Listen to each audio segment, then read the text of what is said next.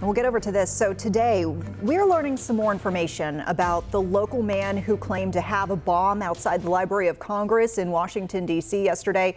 Floyd Roseberry, who we told you before, is from Cleveland County, right in our metro area here, facing two counts. The first is threatening the use of a weapon of mass destruction. The other is threat by explosives. While in court today, he said that he was having a little trouble understanding what was going on because he has not had what he calls in his words, mind medicine in two days. I want to get over to moderator of Meet the Press, Chuck Todd, who is joining us live today. I know there's so many topics we can talk about, Chuck, but we wanted to focus on this bomb threat situation since it does have a lot of local ties for us. I mean, this hours long standoff yesterday, I can only imagine it really rattled D.C. That's really just been through a whole lot lately, especially when you consider the events of January 6th. Look, this studio is, you know, I, I just look to my right over here and I, I see the Capitol, and and uh, I was in this uh, in this building during January 6th. If you live and work in and around Capitol Hill, you cannot help but feel this elevated sense of concern.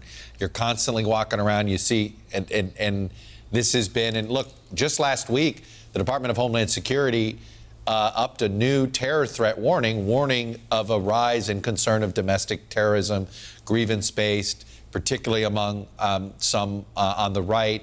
The COVID restrictions in general have sort of added to this conversation, and we've all seen all of the social media stuff. But yeah, I, I would I would say this that if you live or work in and around this area of Capitol Hill, you just have this heightened sense. I mean, look, I was here for 9 11. And if you lived in New York or Washington right after 9 11, you felt uneasy, sometimes walking around the streets. You get a little bit of that feeling just around this neighborhood of Capitol Hill and the same thing. Because this is now sort of the, the, I think, the second major incident since January 6th, third one if you count January 6th. So there is this, this idea that there's an extra threat out there. I think it's more acute here, that's for sure. Yeah, I can only imagine. And uh, Chuck, I mean, yesterday we spoke with a former assistant FBI director who said it's not our imagination. We are seeing more of these these type of threats and, and in some cases attacks. Yeah. Um, he talked about you know the role that social media is playing in some of this. I mean, is there anything underway officially to try to tackle the situation?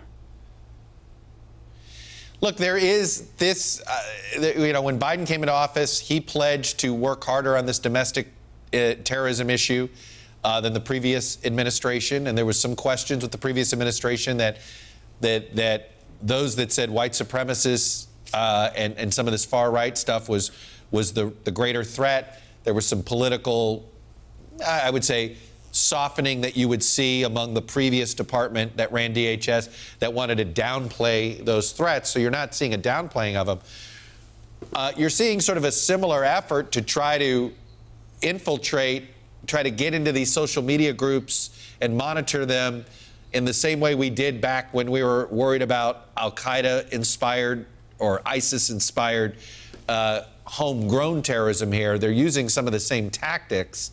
Um, and that's why you've seen, and every once in a while, you'll see them arrest somebody. Obviously, January 6th has been their focal point to, to, to get as many folks in, in that respect. But there's, I, I, think that this is something that's going to become more and more uh, a part of our everyday threat assessment that we all deal with if you're on that beat.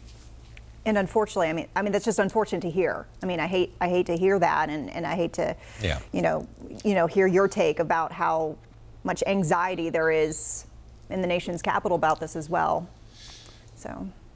Uh, Chuck. Well, look, we have this social media. I mean, look, there's. I mean, look at what you said about this guy. He didn't take his mental meds. I mean, we have a mental health problem and, and not a good way to deal with it in this country. Social media stirs it up, and we have a political divide, and you have leaders that are actively trying to stoke the divide. It's a dangerous stew for mentally troubled people. Yeah, something needs to be done. Chuck, thank you as always for your insight. We appreciate it and, and hope you take care too. You got it. And we'll remind folks at home to tune in to Meet the Press this Sunday, 10 a.m., right here on WCNC Charlotte.